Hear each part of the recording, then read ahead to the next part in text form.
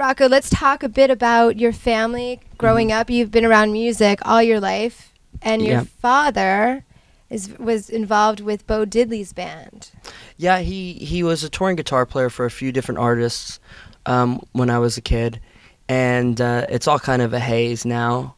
Um, but I just remember being dragged around quite a bit um, in a lot of different uh, social scenes um, with a lot of interesting characters, and uh, trying to deal with understanding what was going on around me.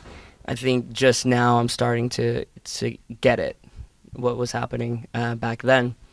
Because Uh, that was part of your life. yeah, it was You just really- kind of part of uh, Normal my everyday normalcy. Yeah, exactly.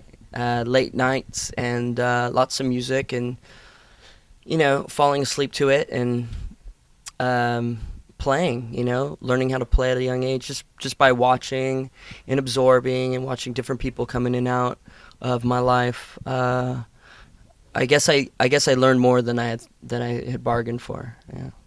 Do you talk about any of those experiences in, on the new CD? Any of your Uh, songs? you know, I do um, in my own way. I'm a little less obvious than maybe a narrative um, storyteller. Um, I like taking just bits and pieces of things and throwing them all in the same soup and seeing how uh, what what I can make.